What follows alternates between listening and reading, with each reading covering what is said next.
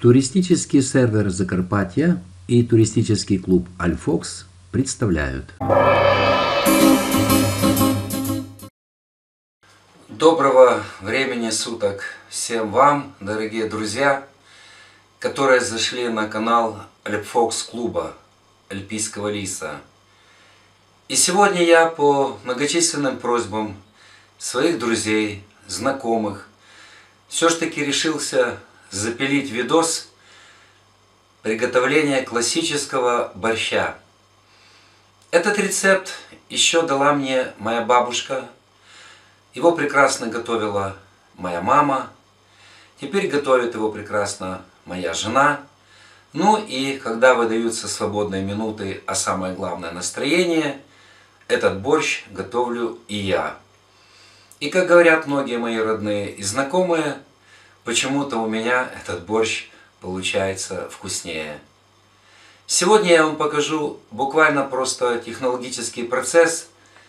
Я не люблю длинные видео, где показывают процессы нарезки, процессы приготовления. Это все затягивается настолько, что можно намного уместить в более короткий ролик. Поэтому я сегодня буду стараться быть лаконичным и показать только самые основные технологические моменты. Ну а то, насколько вам понравится, если вы тоже последуете моему рецепту и вздумаете приготовить этот борщ, пишите в комментариях, ставьте лайки, подписывайтесь на канал. Итак, мы начинаем приготовление классического борща. Для приготовления нам понадобится кусочек мяса по вашему выбору. Это может быть или телячье мясо, или свиное кусочек свинины. Ну и вдобавок к нему взять пару головок сахарной косточки. Обязательный ингредиент свекла, потому что родоначальник борща это все-таки был свекольник. Картофель появился намного позже. Вы знаете, к нам он прибыл из Южной Америки. Несколько кореньев петрушки по вашему усмотрению. Несколько кореньев моркови. Три, две с половиной ложки белой просеянной пшеничной муки. Зелень для украшения последствий готового блюда. Пару вилков, но может быть и один вилок капусты пару головок репчатого лука, масло подсолнечное и кусочек сливочного масла. Грамм 50, можно даже чуть-чуть больше, а можно и меньше. Вот это основные ингредиенты, которые понадобятся нам в сегодняшнем приготовлении нашего блюда. Для того, чтобы начать приготовление, мы должны подготовить их путем очистки картофеля, очистки нарезки петрушки корня, нарезки корня моркови, нарезки свеклы и, конечно, нарезки капусты и лука. Именно этот процесс и занимает больше всего времени. Именно в этом процессе и надо подойти наиболее тщательно. Итак, за работу. А тем временем пока мы будем заниматься нарезкой наших овощей, мы отправляем кастрюлю с водой. Сначала сахарные косточки. И после кипения 15-20 минут мы отправляем кусочек мяса. Воды наливаем приблизительно половину кастрюли. И после этого отправляем сначала сахарные косточки.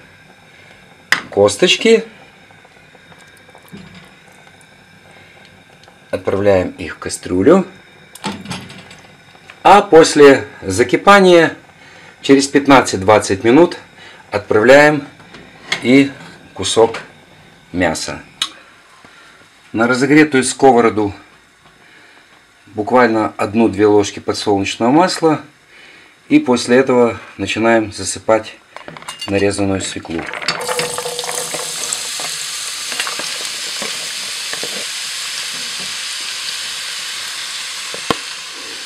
Не бойтесь ее добавить по количеству, так как этого борщ будет иметь более интенсивную краску и будет более вкусным. Свекла пассируется. В результате пассировки ее объем несколько уменьшится, а мы тем временем берем кусок мяса и опускаем его в наш бульон из косточек. Продолжаем варку на медленном огне. Чтобы свекла сохранила свой цвет, добавляем кислую среду, выжимаем один лимон, который потом несколько долек можно будет добавить и непосредственно готовый продукт в борщ.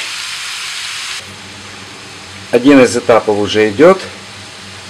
Мясо варится. Включил вытяжку. Желательно включить вытяжку. Ну а свекла тем временем пассируется на переведенный медленный огонь. Свекла в стадии готовности. Она должна еще дойти в самом борще, чтобы не было мягкой, а была несколько твердой. Так будет борщ вкуснее. Мы ее снимаем с плиты.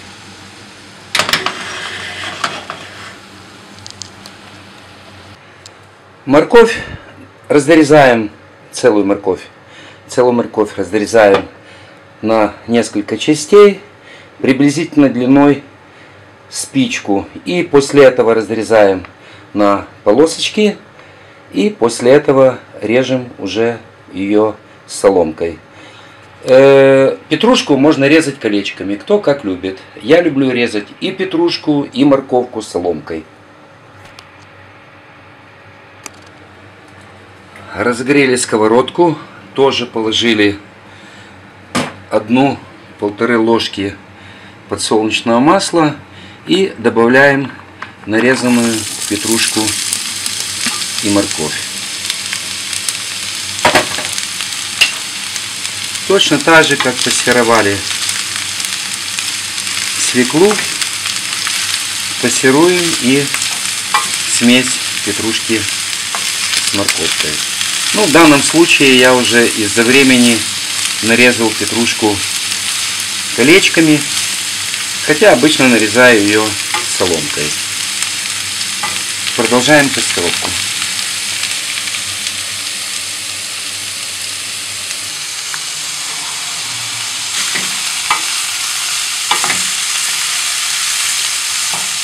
Помешиваем, и морковь дает любимый мною золотистый сок, который красит и петрушку, и, конечно, придаст необычайный золотистый цвет и нашему борщу.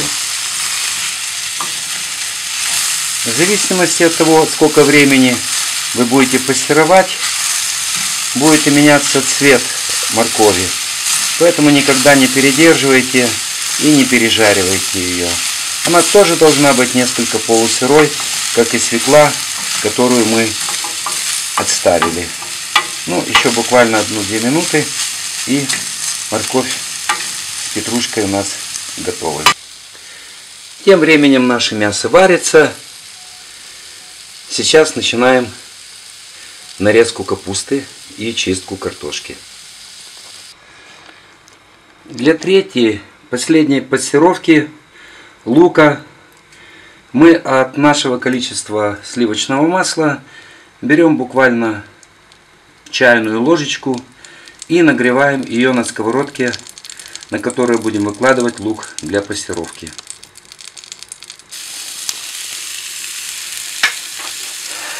Помешиваем лук, не даем ему пригореть ни в коем случае. Ну и как вы уже обратили внимание, у нас технологический процесс состоял из пассировки трех видов продуктов.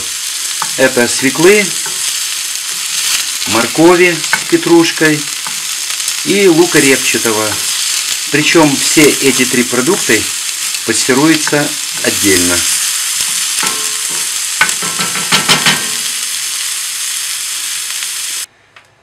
Пока варится мясо для борща, у нас готовы основные компоненты.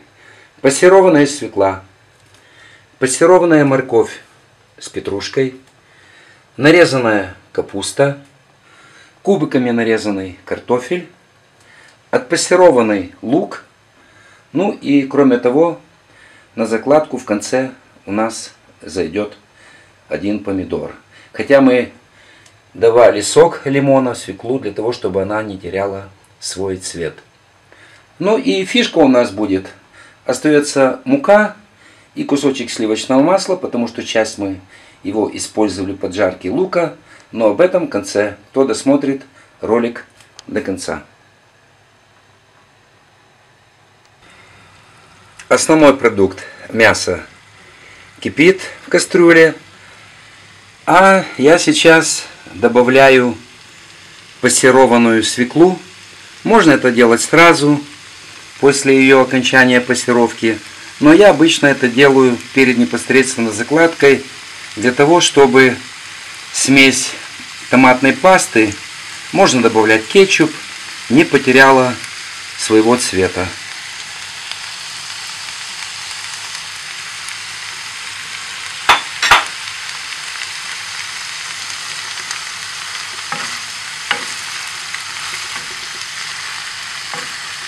Все перемешиваем.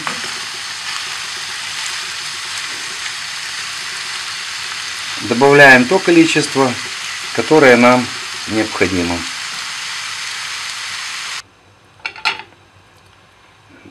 Вытаскиваем мясо.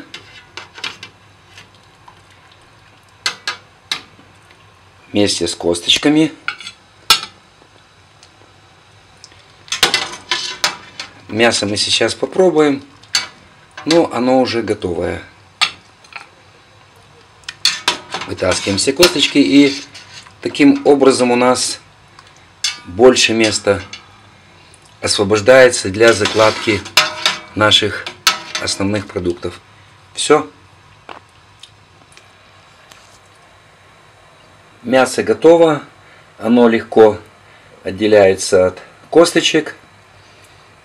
Я обычно мясо После того, как оно остынет, нарезаю отдельно и подаю на стол, чтобы каждый мог взять такой кусочек, какой ему нравится. Пошла закладка картофеля. Закладываем картофель. Ну и приблизительно минут 15 для его варки а минут через 5-8, если капуста не очень твердая, я делаю закладки капусты для того, чтобы она в борще получалась хрустящей.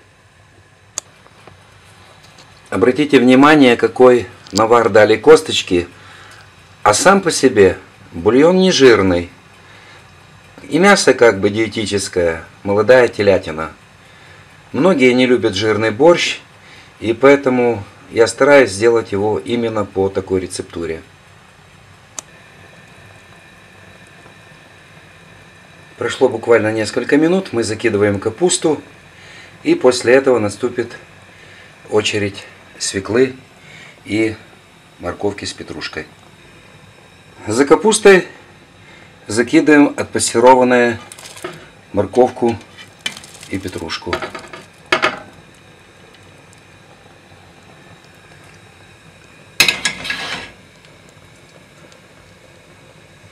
Варим приблизительно 5 минут на медленном огне. Прошло еще 5 минут. И закидываем свеклу.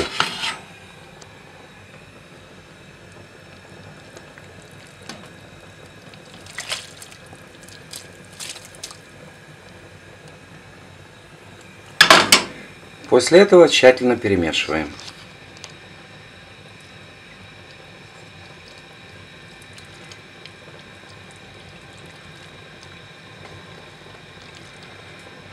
Борщ не должен быть жидким. Бабушка учила, что он должен быть густым. Если поставить вот так вот не вот ложку, то ложка должна как бы стоять.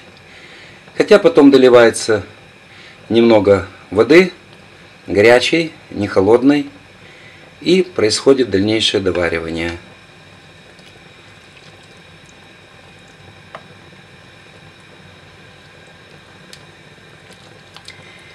Я не ложу в борщ лавровый лист, потому что он все-таки меняет вкус. Ну, а добавляю туда помидорчик, который у нас припасен для этой цели. Помидорчик можно разрезать на несколько частей. Обычно на такую кастрюлю я ложу 4 дольки целого разрезанного помидора.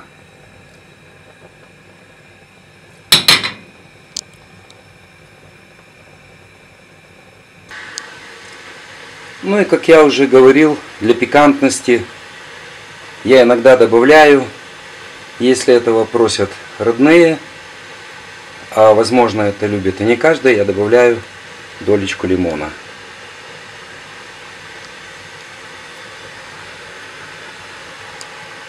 Долита горячая вода и добавляем последний из ингредиентов – пассерованный лук.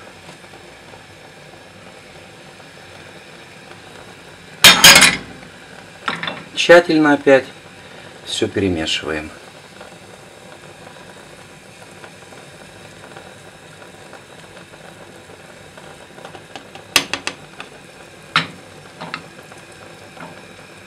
Ну и осталась последняя фишка для окончательного приготовления борща. Но сначала даем на медленном огне покипеть борщу порядка 10-15 минут.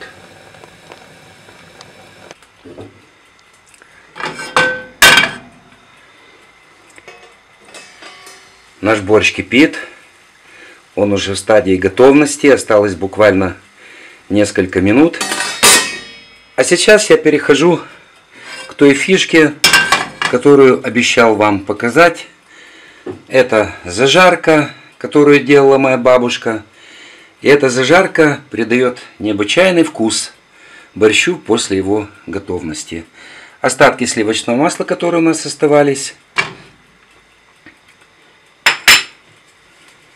И мы растапливаем сливочное масло. Растапливаем сливочное масло и после этого добавляем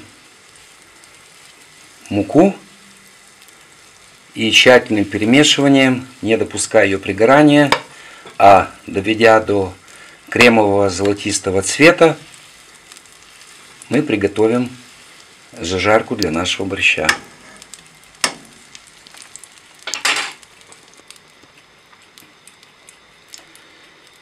Итак, высыпаем муку равномерно по всей плоскости сковородки. И теперь самое главное перемешивать ее очень тщательно, не дав пригореть. И одновременно лопаточкой, именно удобно лопаточкой, не деревянной ложкой, растирать ее от возможных комков.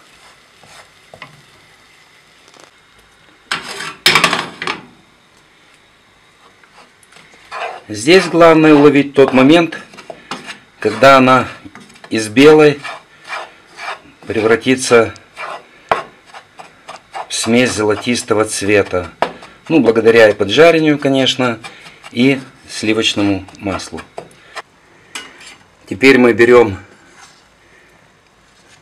жидкость из борща и добавляем ее в нашу смесь половника 4-5 и после этого тщательно размешиваем.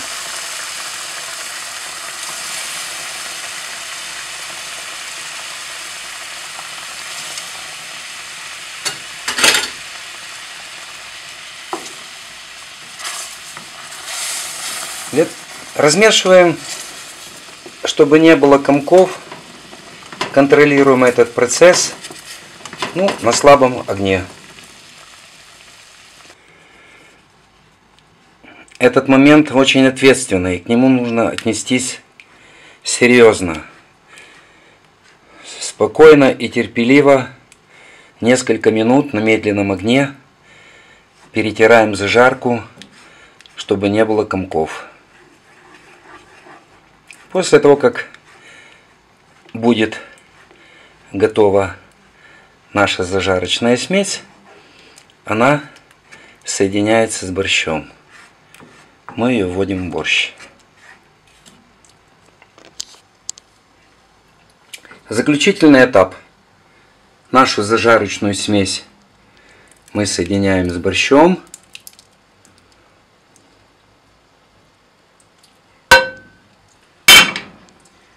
И после этого наш борщ перемешиваем половником. Ну, кому удобно половником, кому удобно деревянной ложкой. Я обычно перемешиваю половником. Итак, закрываем наш приготовленный борщ. Закрываем крышкой. 5 минут на медленном огне и выключаем.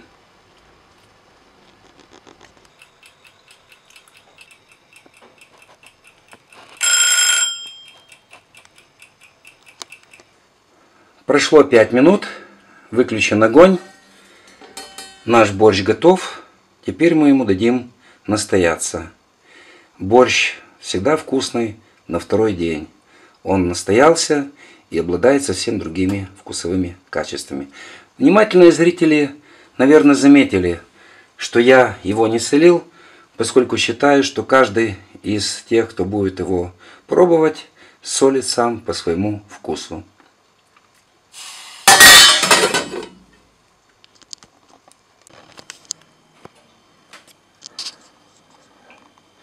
Снова здравствуйте, дорогие друзья! Прошло некоторое время, наш борщ настоялся, мы его разлили в посуду. Кто-то любит с белым хлебом, кто-то любит с черным хлебом. Украсили его зеленью. Порционные кусочки мяса выложены также в тарелку и добавлена сметана. Таким образом, наш классический борщ готов. Мы рады, если вы от нас рецепт этот возьмете, попробуйте приготовить также, возможно, с какими-нибудь добавками. Желаем всем здоровья и приятного аппетита. До новых встреч!